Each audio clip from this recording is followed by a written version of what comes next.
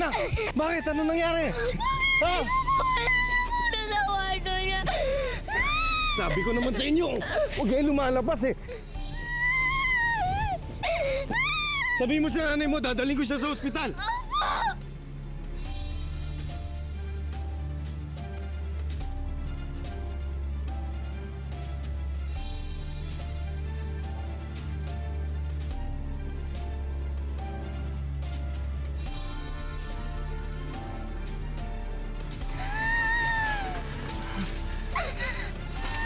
Sige na, sige na.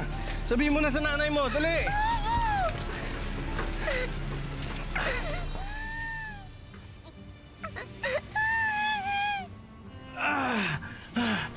Kapit lang, anak. Malapit na tayo sa ospital. Ah, ah, tabi mo yan! Ah, ah, ah, nakakaabot na tayo. Ah, ah, ah, ah. Anak, nandito na tayo, anak. Anak! Ah. Tulong! Tulong! Tulong! Bakit ganyan yung pedicab na yan? Bakit may takip? Baka kung may ano nakakahawang sakit yan. May SCID ho ang anak ko. Kayo na bahala. Ingatan mo, ingatan yung pasyente. Anak, Bilisan mo, hindi mo pwede magtagal ng kaspose ang pasyente. Bilisan mo. andito na tayo, anak. Hindi, higa mo, higa mo. Baka kung ano may nakakahawang sakit Sige, sige. Ah, Kapit lang, anak. Kapit lang. Anak! The patient has meningitis.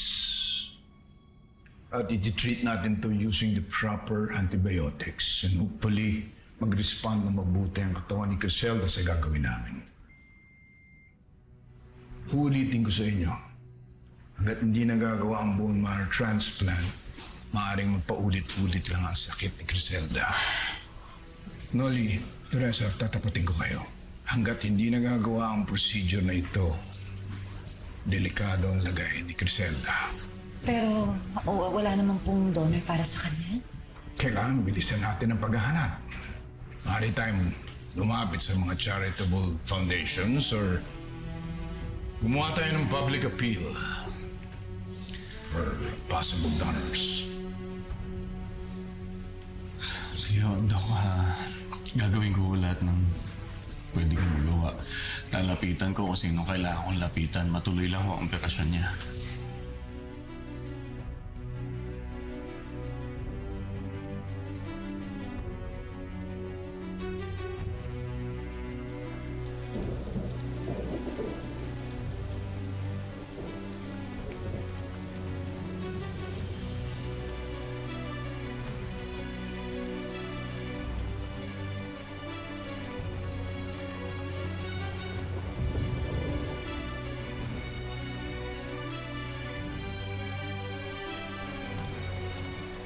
Ah, ate, kayo na yung huling aplikante. Manong, kahit isa na lang. Kasi pasensya na, iabot tayo ng cut Ay, Manong, pa, malusutin niyo na ako. Kahit ako na lang, o kahit, kahit last na ako. Sige na, para awa niyo na.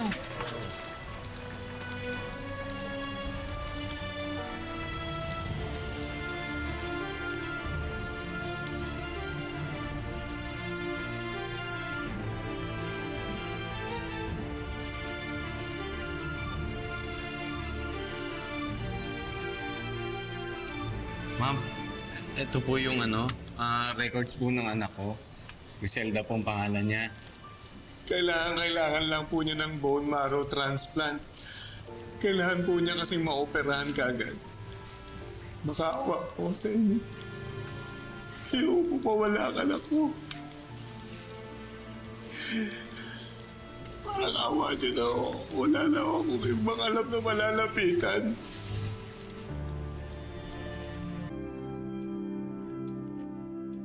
We will do a human leukocyte antigen test to determine kung pareho kayo ng genetic markers ng iyong white blood cells. Kapag pareho, then you can be a donor. We will also run additional tests to determine compatibility and to make sure that you're healthy enough to donate. Mahal, ano ka ba naman? Umupo ka nga. Sa'yo. Umupo ka.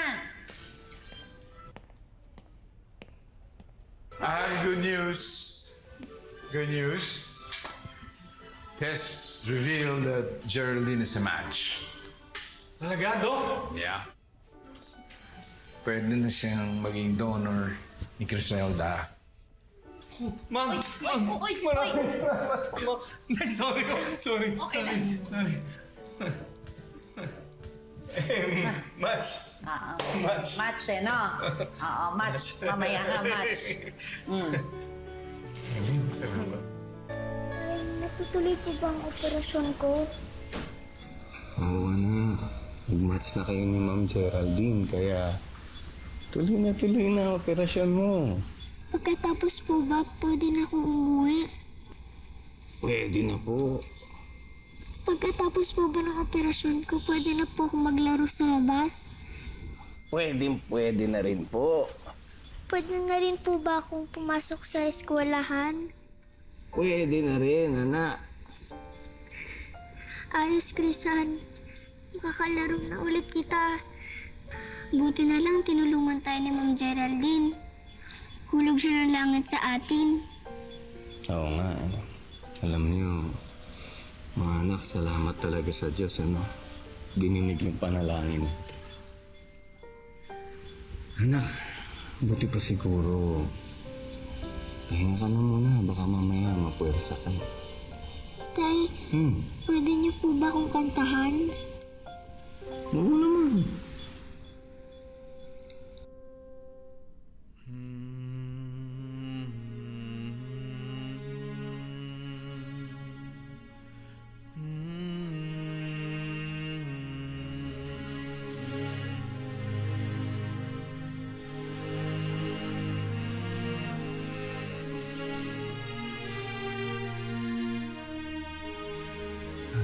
Ko kayo mga anak.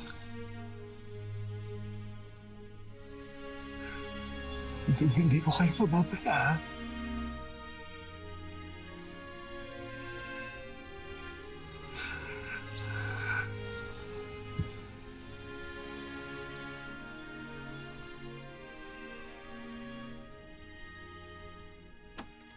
Oh, what's up? Gabi na. Hindi pwedeng mag-donate si Geraldine sa pasyente mo ng bone marrow. Oh, if it's about the procedure, it's perfectly fine. You know, you know that. Oh, that's not the issue. So, anong problema? Anak ni Geraldine yung bata. Anak nila ni Alan. Ha? Ano? Akala ko ba patay na yung mga anak ni Geraldine noon? Di ba? Yun lang yung pinalabas ko. Napatay na yung mga bata para magkahiwalay sila ni Alan. Tapos binigay ko kay Teresa para dispatchahin. Pero ginawa nila mag-asawa, inalagaan nila. And now, Geraldine has just volunteered to be her own daughter's donor? Is that what you mean? What have you done?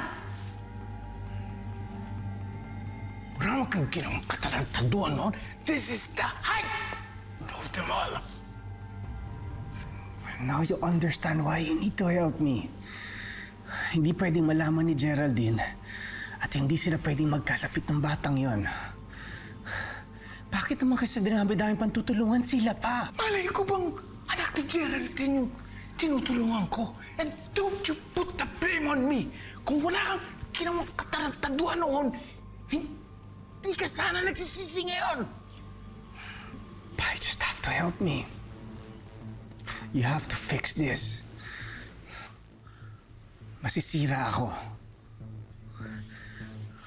Masisira ang pangalan ng ospital.